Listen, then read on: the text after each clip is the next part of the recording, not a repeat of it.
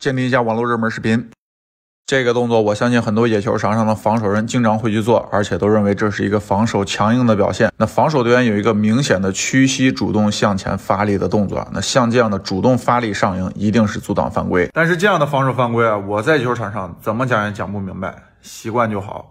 这个案例啊，颇有一些风趣。在某本书籍中写道，当队员的身体任何部分接触界线上方、界线上或界线外的除队员以外的地面或任何物体时，即是队员出界。既然我们打篮球都要穿鞋啊，那鞋自然是身体的一部分了，那鞋带也是鞋的一部分，所以是出界。那在比赛中呢，像这种鞋带开了呀，我会找一个合适的时机提醒队员系上。那一呢，也是出于安全考虑；二呢，也是别给自己找这种难题。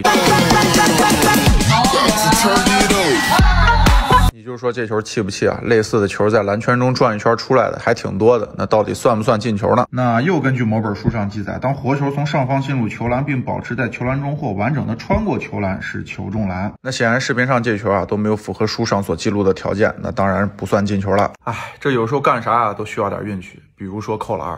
走不走步看中枢脚，大变向之后拜佛合球，确定了左脚为中枢脚，随后抬起中枢脚的投篮，且双脚没有腾空情况的出现，好球，给我学。来怀念过去科普一下，为什么兰兹伯格没有受到处罚呢？按照规则呢，死球期间的两人推搡辱骂，一人一个技术犯规。随后小川质疑裁员，小川再被判技术犯规，那两个技术犯规就被取消了比赛资格。兰兹伯格扔球砸小川也被判技术犯规，那两个技术犯规也被取消比赛资格。随后小川撞倒兰兹伯格，但是这。时候他已经属于被取消比赛资格的队员了，这时候在场上已经是没有处罚了，只能写报告上报联赛，然后后续追加处罚。那兰兹伯格已经在场上都已经全部处罚过了，他随后是没有追加处罚的。